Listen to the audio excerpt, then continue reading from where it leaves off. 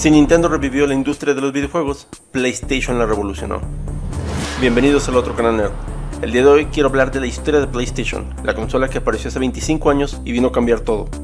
Apareciendo en el mercado internacional el 9 de septiembre de 1995, el PlayStation logró éxito global, cambió la regla de los videojuegos y todo a partir de la mayor traición corporativa del Japón.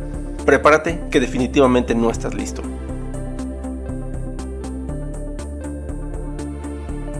La historia del PlayStation comienza con Ken Kutaragi, un ingeniero que trabajaba en Sony, compañía que se hizo de renombre creando aparatos electrónicos que rápidamente comenzaron a alcanzar y crear nuevos mercados, y se hicieron de un admirado éxito.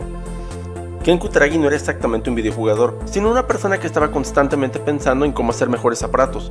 Fue alrededor de 1989 que él vio jugar a sus hijos en el Famicom, la versión japonesa del NES de Nintendo, Mientras que se le hizo gracioso el juego, consideró que el sonido era horrible, así que se dispuso en secreto a crear un chip de audio para videojuegos.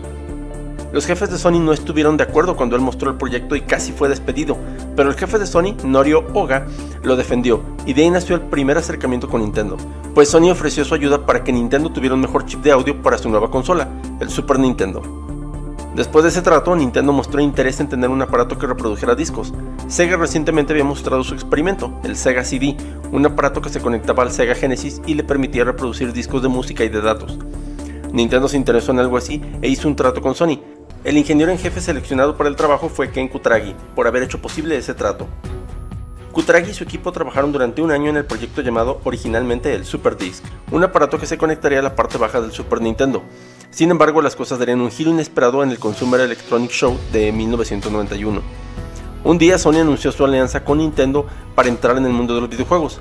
La llamaron Nintendo PlayStation, pero al otro día del evento, Nintendo en su presentación mostró una alianza con Philips para hacer una consola de discos. La gente de Sony no tomó bien esto, tanto Ken Kutaragi como Norio Oga estaban furiosos. Nintendo dejó en ridículo a Sony en una conferencia importante, pero más que nada se había roto una regla no escrita en la industria japonesa, pues Nintendo había hecho tratos con una compañía extranjera. Pero, ¿por qué Nintendo hizo esto? Según fuentes cercanas a Nintendo, el entonces presidente Hiroshi Yamauchi consideró que el trato no les beneficiaba y creían que Sony no había tomado la actitud de vida. El trato era que Sony podría obtener ganancias de cada disco vendido, pero Nintendo no podría cobrar nada a ninguna desarrolladora externa que sacara sus juegos en el formato de CD. También Yamauchi creía que ellos potencialmente estaban ayudando a un rival. Sobre todo había molestias en Nintendo porque Sony había conservado los derechos totales y la tecnología interna del chip de audio del Super Nintendo. Y también creían que el trato no serviría a largo plazo. La gente de Sony planeó demandar, mientras que Nintendo hizo un nuevo trato, no sin antes buscar quedarse con el nombre PlayStation para disuadir a Sony de abandonar el proyecto. El nuevo trato que ofreció Nintendo a Sony era crear un periférico para el Super Nintendo, pero que solo funcionara para audio, permitiendo a Sony seguir trabajando con ellos, pero quitando poder de los juegos. Sony aceptó el nuevo trato, aunque la junta directiva entera pidió al entonces jefe Oga que abandonara el proyecto y que Sony dejara el camino de los videojuegos.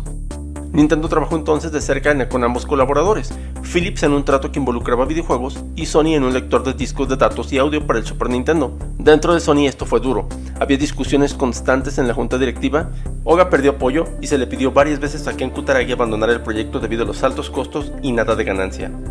Este periférico se llegó a conocer recientemente e incluso se logró vender como un prototipo para coleccionistas en 2019.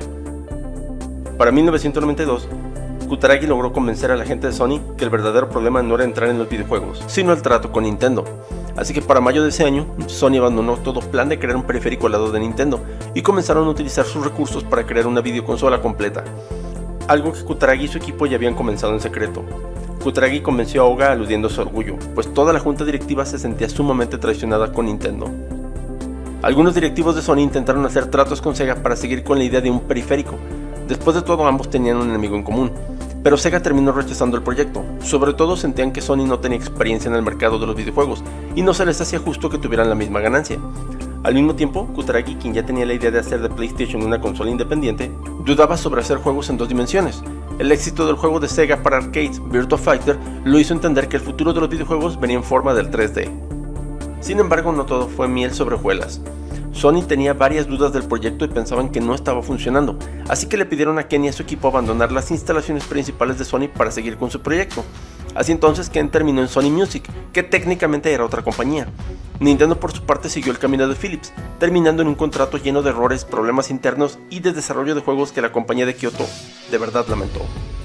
Para 1993, Sony mostró al mundo su nuevo proyecto, el PlayStation X, nombrado así para intentar alejarse de la idea que los videojuegos eran para niños. Este nombre se quedó para mucha gente que aún nombra esta primera consola de Sony como PSX. Al mismo tiempo, la nueva tecnología de Sony impactó a la industria.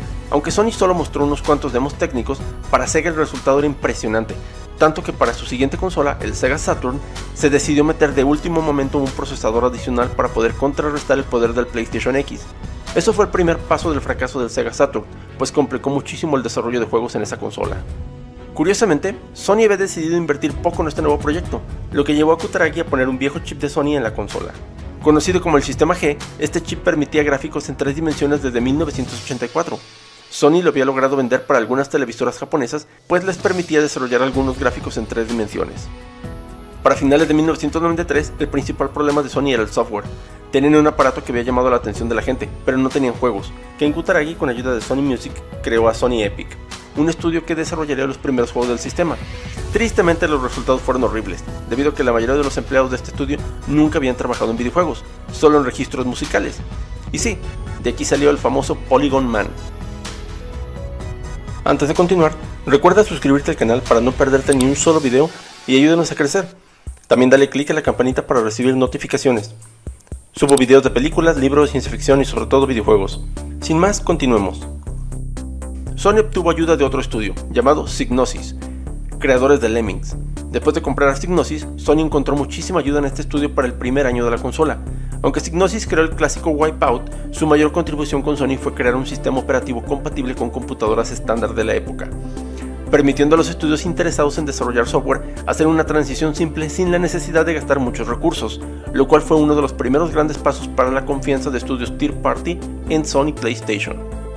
A finales de 1993, Sony también decidió crear el sello Sony Computer Entertainment, estudio encargado de desarrollar videojuegos para PlayStation.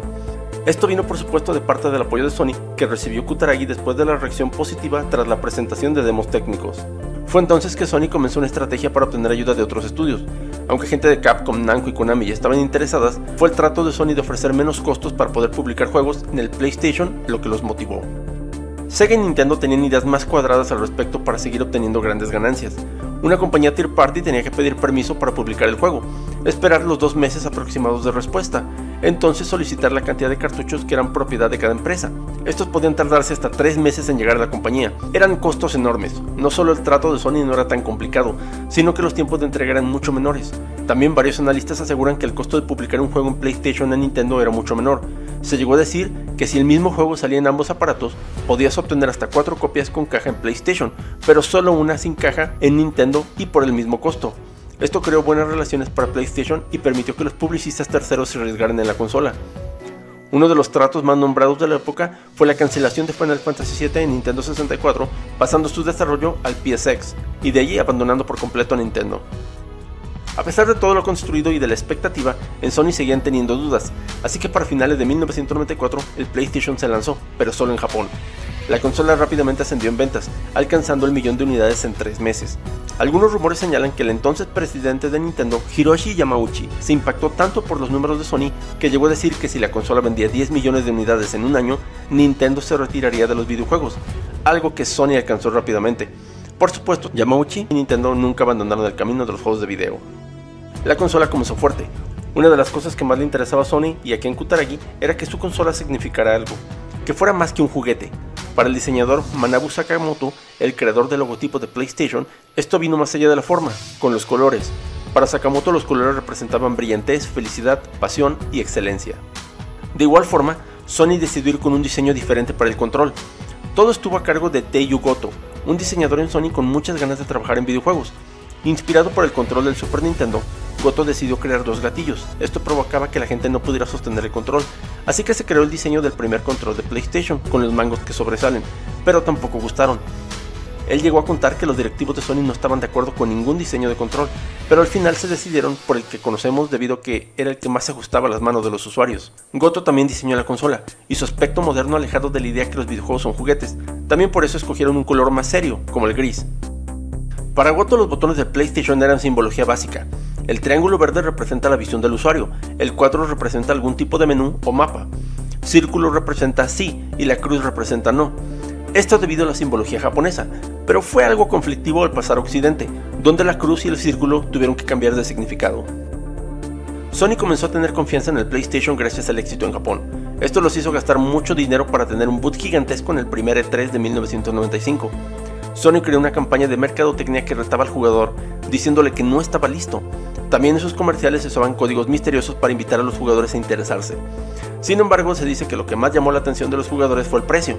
En el mismo E3 de 1995, Sega anunció el precio del Saturn a 399 dólares.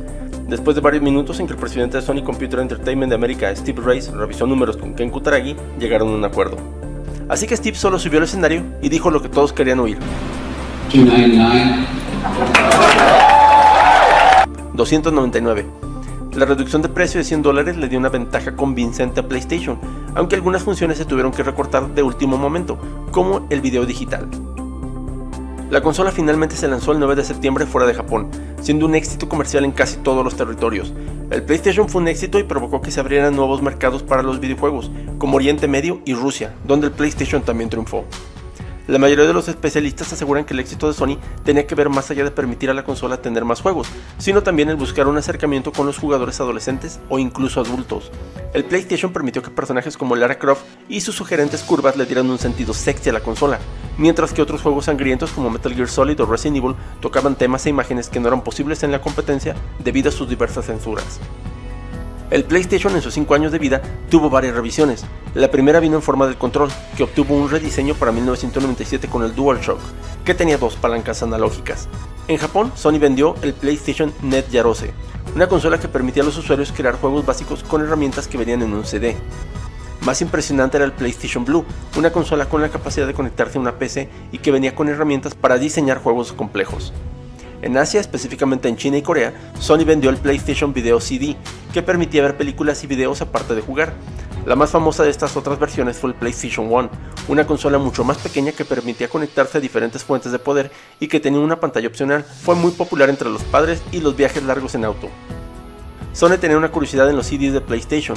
El área de lectura era negra. Durante mucho tiempo se especuló entre fanáticos que era algún tipo de sistema de seguridad antipiratería, pero no era el caso era algo meramente estético creado con la intención de ser más interesantes para los jugadores, pues en Sony se consideraba que los CDs tenían muchas ventajas sobre los cartuchos, pero la apariencia estética no era de estos.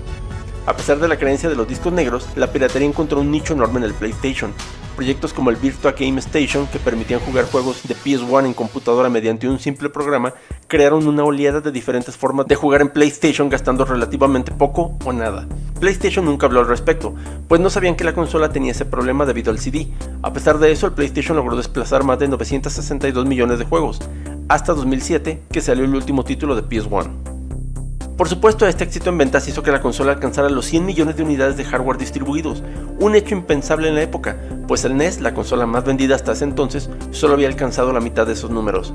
El éxito de PlayStation fue enorme, propiciando franquicias nuevas, formas nuevas de jugar y una de las más queridas compañías de videojuegos en la historia. Con el próximo lanzamiento del PlayStation 5, Sony ha dominado el mercado de las consolas desde hace más de dos décadas. Tuvo un inicio incierto y lleno de tropiezos, pero que ayudaron a cimentar las bases de la compañía más grande de videojuegos que sigue cambiando y revolucionando expectativas día con día. Espero poder revisar este video en 25 años y que Sony PlayStation siga con nosotros. Esto fue todo por el video de hoy. Sígueme para más contenido. Esta semana estaré revisando títulos imprescindibles de esta gran consola PlayStation o PSX o PS1, como prefieras decirle. Sin más que agregar, me despido. Esto fue el otro canal Nerd. Hasta pronto.